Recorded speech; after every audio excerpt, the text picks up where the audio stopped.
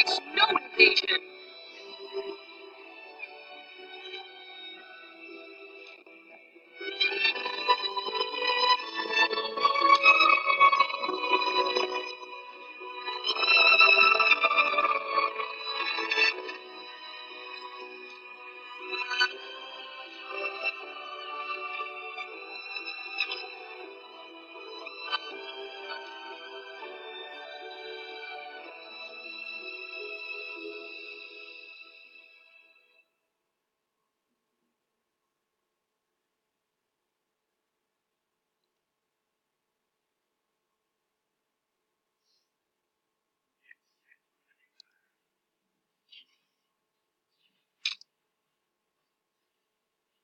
Land of the Empire tolerates no invasion.